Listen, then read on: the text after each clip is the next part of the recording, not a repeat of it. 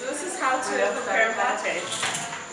You take your mate gourd and some mate and get it at an angle.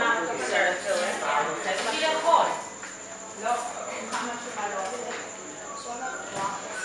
until it's kind of at an angle. And then you shake the mate. Cream up your hand. Nobody wants to drink that part. And you pour into one side.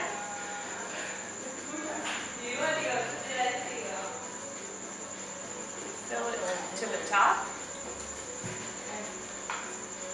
Take your straw, your thumb over the end of the straw, and put it